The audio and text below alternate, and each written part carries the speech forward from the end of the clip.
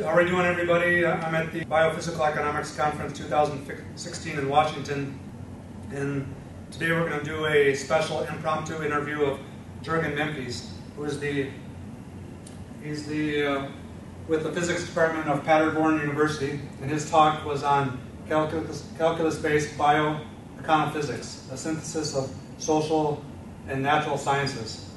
Skipping forward to about one hour and 11 minutes into the talk, Mimkes engages into Goethe's elective affinities. Companies and motors run on the same fuel, oil.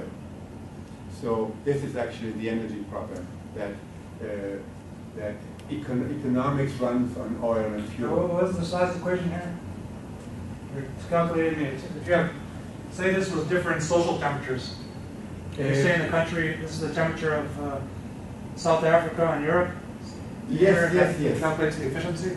Yes, it So there has to be a difference in temperature between the two social systems.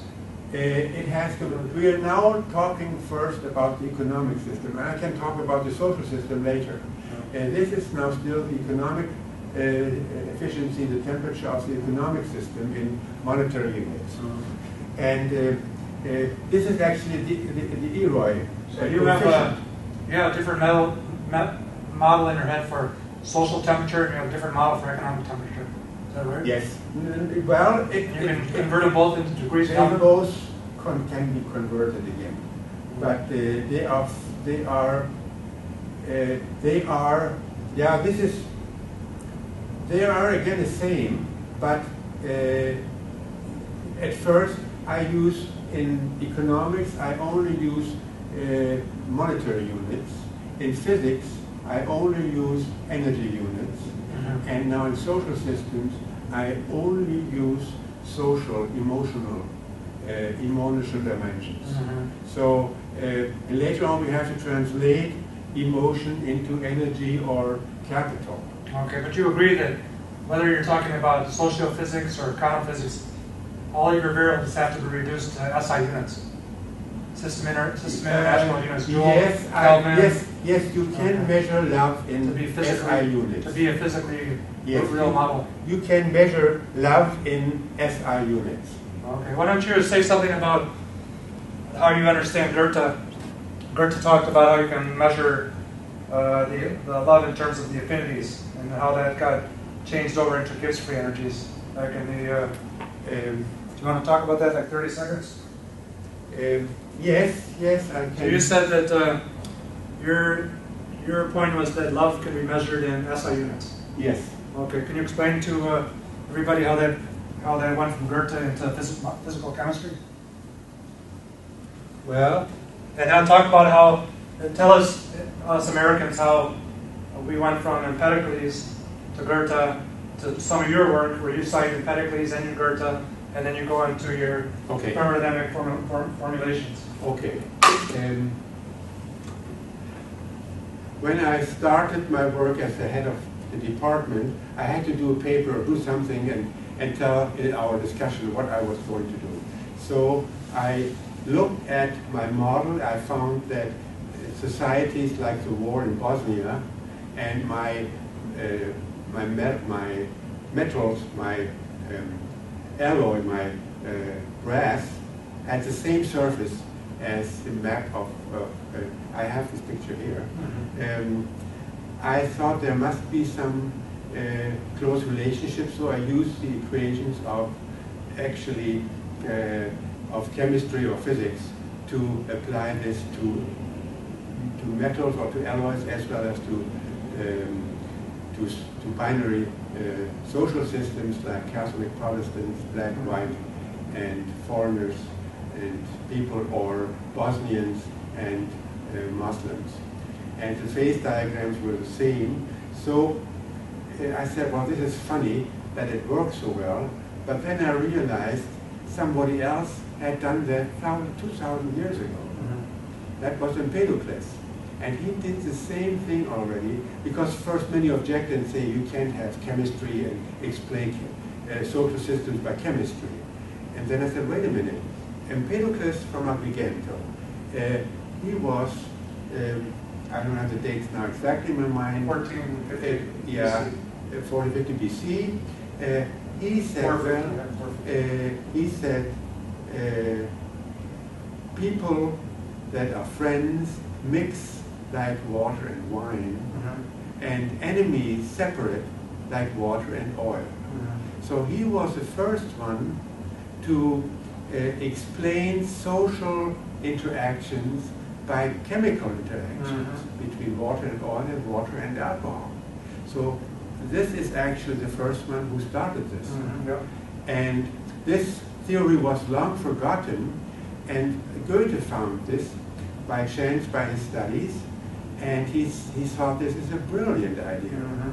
He was actually trying to understand chemistry, and he thought he knows quite well uh, about social systems because he had much experience with social people. And he Here, said- show people the, the book at home. I'll zoom in on you.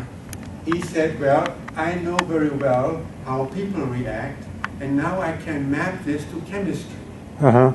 And then he said, okay, I will uh, write a chemical novel where two agents or two couples meet like two agents in chemistry meet, like hydrochloric acid and sodium hydroxide Yep. and they meet, and at the moment where they meet, they start separating, Mm-hmm. and each one takes one of the other and forming sodium chloride and forming uh, water, uh, H2O. Okay. And uh, in this way, he said people also react in the same way. They also have these affinities, and there must be also an attraction between different people, not only between men and women, but there must be for special people, there must be a special attraction, higher attraction, like in chemistry. So he applied the idea of Empedocles that uh, people, uh, that the behavior of people can be explained by chemistry uh, in his novel uh, Die Wahlverwandtschaften.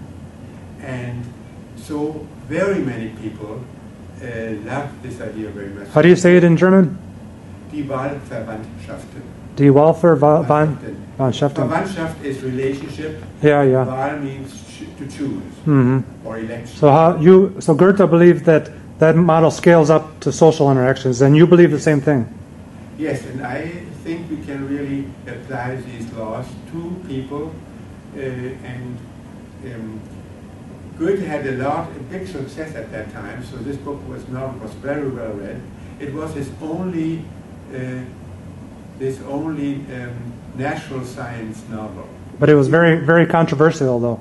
Yes, it was controversial. Of course, many people objected, but many people were just uh, delighted to have these ideas, which had come up from ancient Greek times Mhm. already, and revived this. So, What, what were some of the re- reasons that you know of that people objected in Germany? Because the one of the reasons that I know, the first English translation of Goethe's elective affinities was done by uh, was done anonymously because the person was feared for their, uh, their their books were burned at Oxford. James Froude did the first English translation, and his books were burned at Oxford because it Goethean principles contradict Christian morality. So that's one of the yes, this is what very uh, um, fundamental governments at that time would have thought that this idea uh, contradicts the Bible, but there have been many things already uh, contradicting, like the earth is not the center anymore of the world.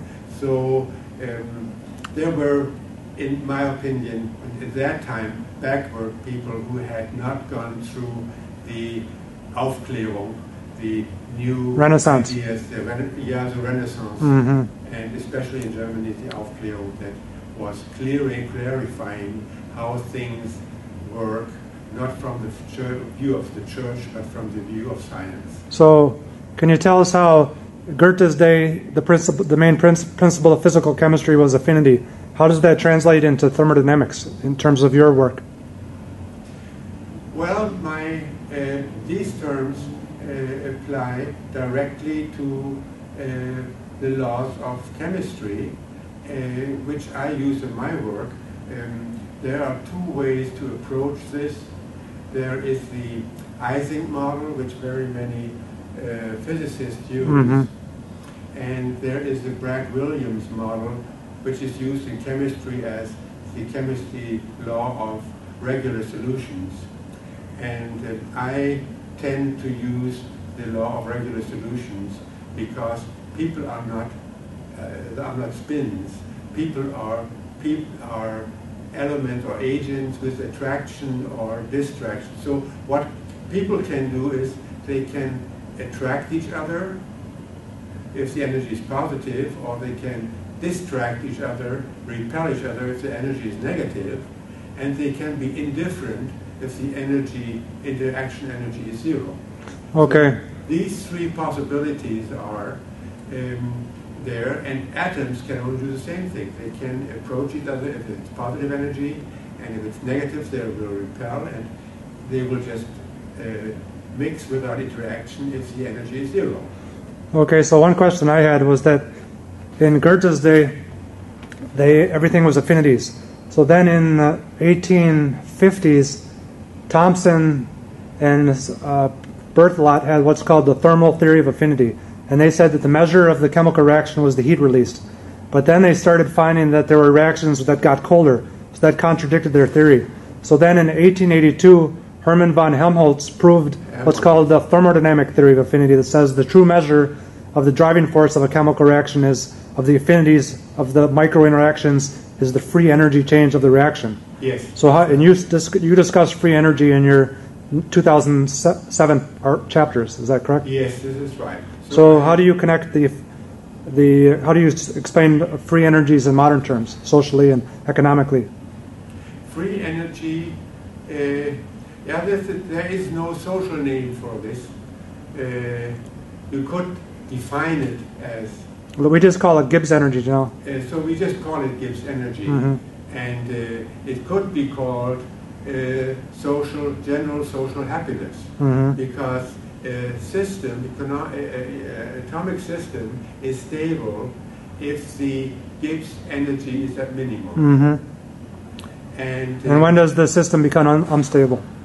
and uh, and in my opinion, uh, it is easier not to use the Gibbs but the negative of Gibbs Mhm. because you do not want the potential energy, which has to be a minimum in order to be stable, um, and the energy in in physics corresponds to an emotion of co- uh, of attraction, which is love, for example. hmm And love is not a negative sign, love is positive. So Oh, okay. minus E is then the positive emotion, and this is, for example, love. Mm. And um, the, like, the Gibbs, the negative Gibbs uh, uh, uh, function is then the general happiness of a society. Okay. And that one has to be at a maximum in Mm. order to produce a stable society. Excellent. I didn't know that before. I was always curious why you used the negative sign, but now I see. I see your thinking now. To put things into context, historically, there's only been nine people, including myself, prior to 2007, to published independent connections scientifically between the work of Goethe on human affinities and Gibbs on the free energies of chemical substances, as shown by the affinity free energy equation in the middle here, first formulated by Helmholtz. Those including American chemist Carl Schneider, German physical chemist Wilhelm Ostwald, who did the first German translation of Gibbs' work, American historian Fielding Garrison, who wrote one of the first biographies of Gibbs, Richard Schwoen, who in a lecture discussed the, what he called the red thread connection between the work of Empedocles to Goethe to affinity transforming into free energy to Henry Adams to Frederick Rossini to modern thinkers such as Thomas Wallace. Mimkes being one of the first to robustly connect Empedocles to Goethe to Willard Gibbs free energies at the graduate school level.